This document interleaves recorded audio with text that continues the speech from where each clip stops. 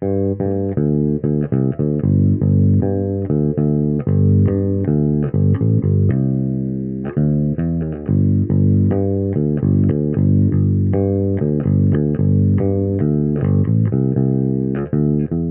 Epiphone viola bass guitar has an iconic bass shape and punchy sound without the high price of a vintage unit.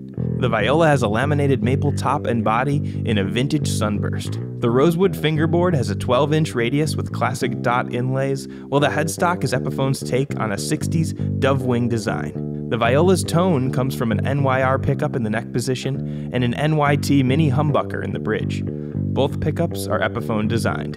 The Epiphone viola has all nickel hardware and a compensated rosewood saddle for adjustable action on the fly.